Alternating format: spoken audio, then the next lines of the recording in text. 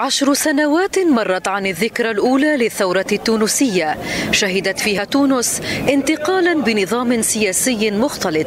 نظام يأخذ من بعض خصائص النظام البرلماني والرئاسي في وقت واحد. نموذج خيرته تونس في محاولة لتجاوز أخطاء وهنات الأنظمة الرئاسية السابقة من جهة في البلاد واعتبارا من دروس وأخطاء الأنظمة البرلمانية الأوروبية كتجارب سابقة تستلهم منها. نظام سياسي كان له أن ينجح لولا قصور أداء الطبقة السياسية في البلاد. قصور خلق أزمة سياسية متواصلة في ظل صراعات حزبية عميقة. أعتقد بأن ما نعيشه اليوم من تأزم للوضع السياسي يعود لا فقط إلى البناء الدستوري لكن كذلك إلى المشهد السياسي المتشظي باعتبار أنه لو كان هناك مشهد سياسي مغاير ربما لكان التطبيق أفضل. ما يمكن التأكيد عليه هو أنه حتى لو أخذنا نظام رئاسي أو نظام برلماني صرف مع مشهد سياسي متشظي فإن النتائج السياسية ستكون دون شك غير بعيدة عما نعيشه اليوم. تعد التجربة الديمقراطية التونسية منقوصة حتى وإن كانت تونس مسجلة على لائحة الدول الديمقراطية في العالم. ديمقراطية لها أن تكتمل بتأسيس المحكمة الدستورية وتغيير القانون الانتخابي واستكمال المسار الانتقالي لحرية الصحافة والإعلام. ديمقراطية أسست لبعض المسارات التشريعية والمؤسساتية لكن النظام السياسي الحالي محل جدال في غياب الانسجام بين المؤسسات السياسية الكبرى الرئاسة والحكومة والبرلمان.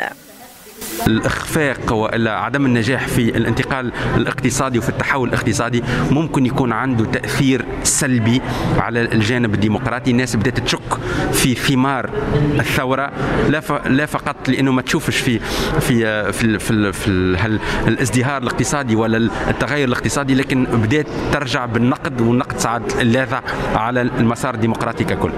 ديمقراطية تونسية بعدالة انتقالية مشوشة. وبغياب تام للنجاعة على المستوى الاقتصادي والاجتماعي حيث شهدت تونس موجة كبيرة من الاحتجاجات والمظاهرات التي لم تنقطع في كل المجالات وفي كل القطاعات ومن قبل كل الفئات.